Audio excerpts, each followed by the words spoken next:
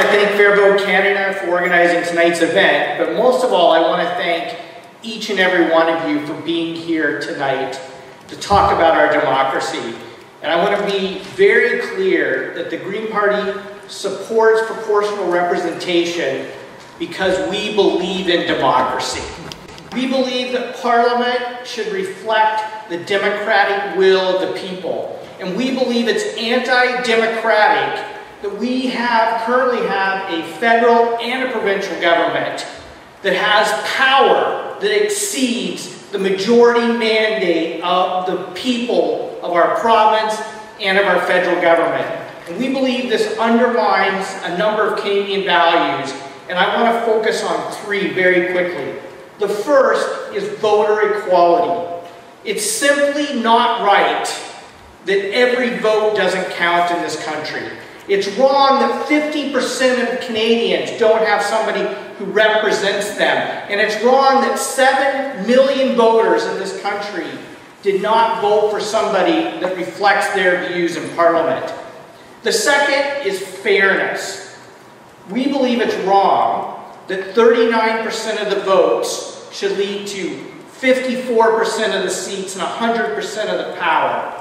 And that's federally. Provincially, it's even worse. 38.5% of the vote led to 100% of the power. In the 2014 election, the Liberal Party increased their vote by 1%, but they increased their power by 100%, and that's not democratic.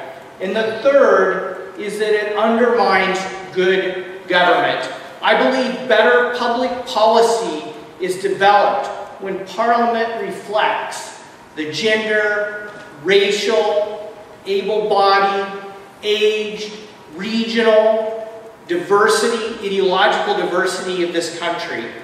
And our current first past the post system does not do that. If we had a coalition government, Hydro One would not be being privatized in this province right now.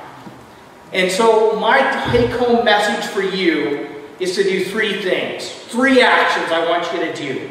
The first is sign Fair Vote's Declaration of Voter Rights to, to establish your right to a democracy. The second is to contact Lloyd Longfield's office. The Liberals are not going to bring in proportional representation if they don't hear from you. It's going to take your voice to push them to take action.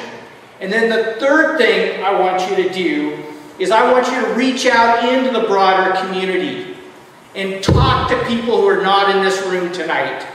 And I want you to thank people like the NDP who have brought forward a motion for proportional representation.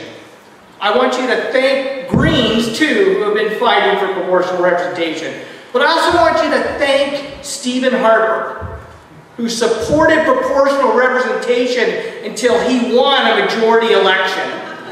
So I want to thank conservatives for standing up for proportional representation. And finally, I want you to thank liberals and Justin Trudeau for saying that the last federal election will be the last anti-democratic election under first past the post. Every single party has an interest in changing our electoral system to proportional representation because every single vote should count.